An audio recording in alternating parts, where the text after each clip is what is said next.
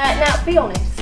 Right. The auditions this weekend, were you slightly jealous that your son Kian kind of stole Nicole's attention? he does it every year to me, man. He always steals my limelight. But yeah, I'm not jealous now. It's nice to see him getting some a attention. cheeky thing. He is a cheeky little boy. Uh, do you have any plans to get Nicole's undivided attention in the future? No, no, no. She, um, I wouldn't mind, but no. Actually, it was a little bit controversial after you left the competition last year, but is everything okay okay now because no one likes attention? No, I mean, I've, I've had no attention. I kind of picked myself straight back up after it. You know, I had a bit of a, I was on a bit of a downer for a couple of weeks, but I had a lot of support of people, so that sort of made me feel good about myself. What did you get up to in that year? Uh, no, that year I got I done loads of gigs, man. I got everywhere. Um, I was done, like supported the Wanted, Lawson, and played at the Silverstone Grand Prix.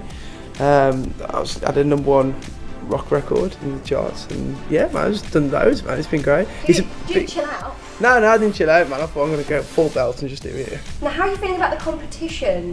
Who do you think are the ones to watch? Oh, there's loads to watch this year. I think. Um, my favourite probably. Oh, I don't know, man. It's hard, it's hard to say. I, I like Jake Oda. Yeah.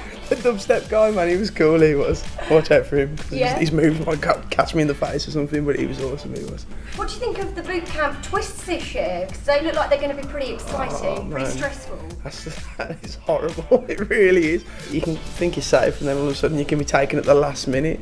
So it, it's horrible. It's a, it's a, it's a horrible experience because you just sort of like you feel like you've done it. You feel like you're through, and then you can just be easily taken away from you. So Do the judges find it hard? um, I think the judges found it hard, uh, but um, I don't know. I think they, I might get a slight bit of satisfaction out of it as well. Which It's one? kind of All cool. I don't know, man. I think like it's, it's almost like they're trying to make you um, the likes in you on, on your, in, in your age and bringing the most of your emotions out and stuff. You're not really teasing you. Yeah. Probably um, I don't know.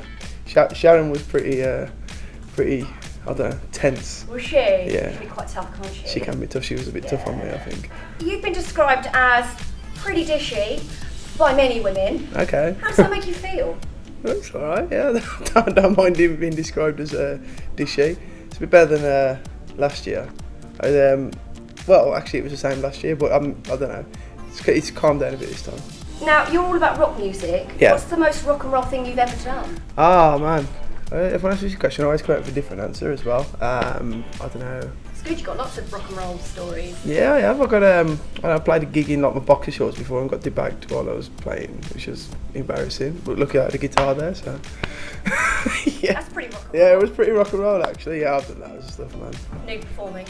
Um, yeah, Blink 182 style. Yeah, it was pretty cool. Anything else?